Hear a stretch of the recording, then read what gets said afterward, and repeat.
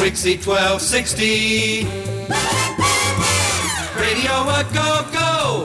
Yeah, Super Radio.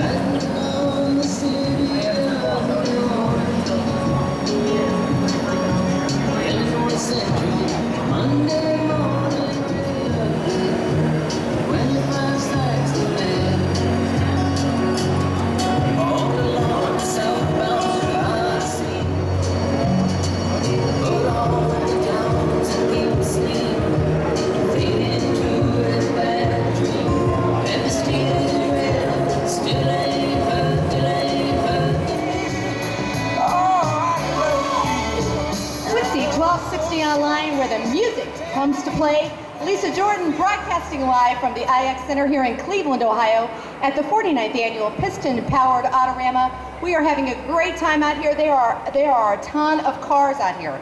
If you like cars, there is not a car that I can see in the place that is not fantastic. So come on out today. We are going to be broadcasting live until 10 o'clock tonight. Again tomorrow from 10 a.m. till 10 p.m. And on Sunday from 10 until 6. Come on out, I promise. You are going to have fun, fun, fun. Right now, this is the Beach Boys here at WIXY 1260 Online, the heart and soul of rock and roll. Mark Allen holding down the fort. Gee, is that you on there? Yeah, Back in the day, right? it is. Yes, it is. He said he had the other ones, but I don't know where they are. Okay. You know, the other the other Right. sheets. The, Yeah. We'll find them.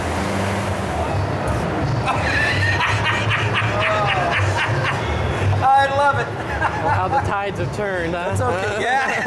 That's funny. That's funny. Wow. Looks funny to someone else using that camcorder.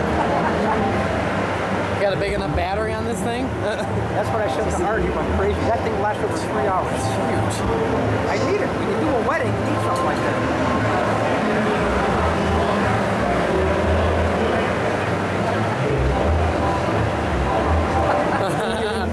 That's a good still right there. Ah!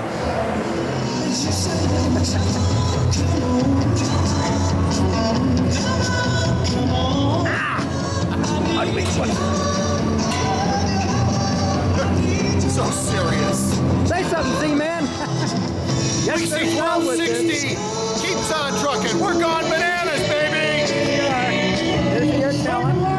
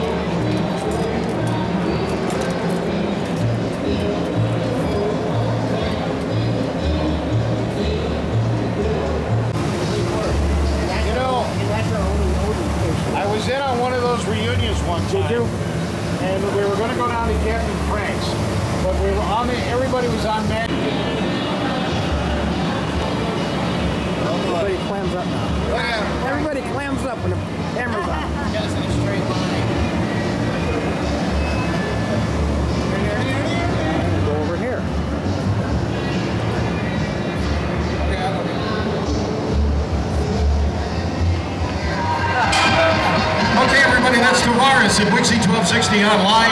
and everybody's got to have a little good loving. Here we are at the, at the 49th annual I-X Center Rock and Roll Show. We like to call it Rock and Roll Show. It's actually the uh, car show. And thanks to Lisa Jordan, I'm Mark Allen. She let me get back in here. We have a very, very well-known guest who's been on the radio all over the country. You may remember him on the night train WGAR years ago. He's also been on Sirius XM many years on Sirius Gold Channel 5 and also on WCBS FM in New York 101 and many other things. Norm N. Nite is with us today. And uh, Norm, it's good to see you again, buddy. Well, it's wonderful being here. I'm telling you, what a group of people that you have working for and keeping the sound of WIXY 1260 alive and well. Congratulations to each and every one of you. Thank you so much, Norm. And of course, uh, you know, you're a guy that just never says uh, the, the sunset has arrived. You've always got something new. I understand you're working on the new book. Can you tell me about that, Mark? Well, you know, it's interesting that my first book, Rock On, came out in November of 74, so that's over 40 years ago, and there have been eight different publications. One of the book, uh, books I wanted to do for the longest time, next year will be the 30th anniversary that Cleveland got the Rock and Roll Hall of Fame. Cleveland was awarded the Hall of Fame on May 5th of 1986. So I talked to my editor in New York and I said, you know what, I'd love to be able to do the book on how it all came about because there were so many fascinating stories about how this transpired. So we got the blessing from the Rock and Roll Hall of Fame, which was wonderful to be able to say, go ahead, and got the official book. And we'll be, I'm going to be sitting down with a writer in New Jersey, Brian Averback, and uh, we are going to be able to put this book together by uh, my agent right now in New York is putting the uh, finishing touches to the proposal. And we've got about 20 different publishing houses in New York that are, are looking at it. We hope to have a publisher name soon and be able to tell the story because it is so fascinating about how these little things, because this all started really back around 1981, 82 here in Cleveland when I was talking to a gentleman by the name of Hank LoConti who had a dream about putting a Hall of Fame here in Cleveland. And all the things that transpired over the years that made it happen, that Cleveland was awarded the Hall of Fame in 1986, and now it's been already, uh, since 1995, 20 years this September since it opened, and already over 10 million people have come to Cleveland because of the Rock and Roll Hall of Fame. And uh, again, so we'll keep you in tune as far as what's going on, uh, the development of the book, and all the different people we'll be talking to and interviewing. And it's going to be so many different things in this book you won't believe. And I'm really excited about it, but you're the first to hear about it. And uh, uh, hopefully next May of uh, 2016, we'll be able to celebrate and talk about that book. So there you go. You got it from the horse's mouth. That's Norman Nite talking about another book. He already has, I think, seven of them. Eight. Eight books. He's already got eight books out on various parts of music and he knows everybody. I've seen this guy's I've seen this guy's little black book. It's like a like a big phone book. He's got everybody's number and their their days that uh, of their birth dates and that sort of thing. And of course these eight wonderful books. Now a new one coming out next year, and uh, that's just great. We're so glad to hear it. Stay with us. We'll play a little bit of music, and then we'll talk a little bit more about your involvement with the uh, uh how the Rock and Roll Hall came to Cleveland. You're listening to WIXY 1260 online.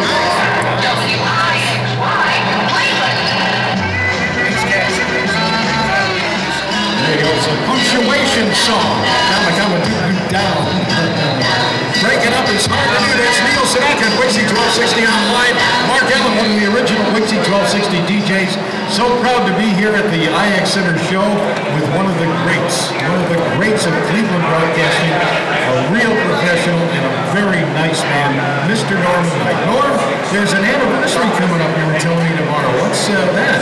The birth of rock and roll occurred here in Cleveland, Ohio on Friday, March 21st, 1952. So tomorrow we'll commemorate 63 years that Alan Freed decided with Leo Mintz from Record Rendezvous do a show at the Cleveland Arena. That was the spark that ignited rock and roll. And the rest is history. And I'm very, very honored to be able to say that on March 20, or January 23rd, 1986 in New York at the very first induction ceremony, that myself and another with the legendary disc jockey Scott Muni were able to induct Alan Freed into the Rock and Roll Hall of Fame, and it was a terrific honor for me to be able to be up on stage at the Waldorf inducting Alan Freed into the Rock and Roll Hall of Fame. But again, tomorrow marks the birth of rock and roll here in Cleveland 63 years ago. Boy, I'll tell you, Norm has all the information. You know, one thing I've always noticed about Norman Nite, this man is a true professional, been in the business for many, many years, but rarely, rarely says anything about himself. A few months ago, we were all down in Canton at the Rhythm and Blues Hall of Fame, and Norman Nite was the guy inducted into the Rhythm and Blues Hall of Fame down in Canton, Ohio. Norm, of course, as I said, was on Sirius Gold Channel 5, Sirius XM. He's also a member of the Night Train on WGAR, and of course WCBS FM 101 in New York, as other things. Now, Norm, I know you're a private guy and you don't like to brag about yourself, but I want to drag you out because I know this and other people don't know that you had so much to do with the fact that the Rock and Roll Hall of Fame is here in Cleveland, Ohio. Please tell me a little. I know that Brownstone in New York was all set and you started making phone calls. Well, you know, I'll try to capsulize it in a, in a very, very brief way. Uh, but what happened was this, that a, it was in 1982 that I got a phone call from uh, Hank Riccardi, and he said, I know you're in New York and you're doing things, everything else. He kept talking about the Hall of Fame. Well, we started putting together a board in New York City in 1983 and 84. And then uh, people in Cleveland found out that there were people that were working on putting the Rock and Roll Hall of Fame together in New York City. And Hank LoConti called me up and he said, could you come to Cleveland? And I did in May of 85. And I met at that particular time with uh, Mike Benz and, uh, and uh, Bill Smith, who was the station manager of WMMS, and uh, Jules Belkin, and just a lot of people. And they asked me, they said, do you think that you could talk to Ahmet Ertegun, the chairman of the board of the Hall of Fame, about considering Cleveland for the site to- for the Rock and Roll Hall of Fame? And I said, well, I'll try. I, I can't promise anything. I flew back to New York, called up Ahmet.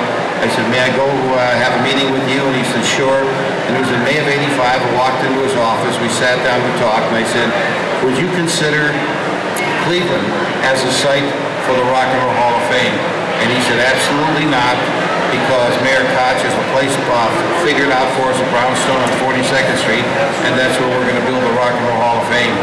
And if I had gotten up, shook his hand, and walked out the door, would be visiting the Rock and Roll Hall of Fame in a two or four-story brownstone in New York. But for some reason or other, I just couldn't take that no for an answer. I stood up and I said, consider Alan Freed, consider the Moondog, consider the neutral city.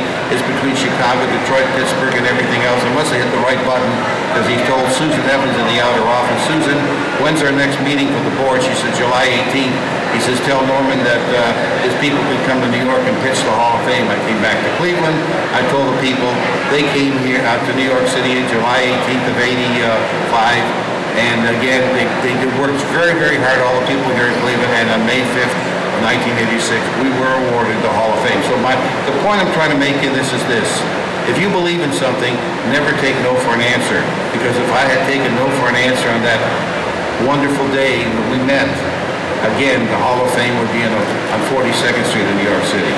Isn't that a great story, everybody? A lot of folks have never heard that story, and I've heard it before, and I, I just can't get over that this one man has done so much for our business, for the music that we love, and Cleveland's Rock and Roll Hall of Fame. Let's have a round of applause here for Mr. Music, You're, all so kind, but again, I want to say, Bob and Lisa, and all the people that are here from uh, representing WIXY 1260, a legendary station in this market. The unfortunate thing for me is when Wi- WIXY was at its prime, those were the years that I was, I was out of town because, first of all, I left Cleveland in 1961 to attend Ohio University for four years in 1965. After that, I went into the military. I was an Army officer from 1965 to 1967. And then after that, I was working in uh, a little bit here in in Cleveland, but then I went off to New York. So all that wonderful time that was spent here with WIXY, I was never around really except when I came home for the holidays to listen to all those legendary disc jockeys that were on the air at that time. But I'm very proud to say that you folks are doing a phenomenal job, and all the people that have ever been affiliated, both on the air or behind the scenes with WIXY, I'm sure are very, very proud of the job that you're doing to keep this wonderful legend of WIXY 1260 alive. My hat's off to you. Continued success. May you all rock on forever. Thank you, thank you, Norman Nite. Course, Norm, uh, you know, I go back to WIXY. I was known as Mark Allen back in those days because of a non-compete. And we turned the clock back for me 40 years. And I'm having a great time playing WIXY 1260. Once again, thank you, Mr. Music, Norman Nite. Lisa, for music, now WIXY 1260, online. That was so nice. Thank you all. Thank you. Thank you.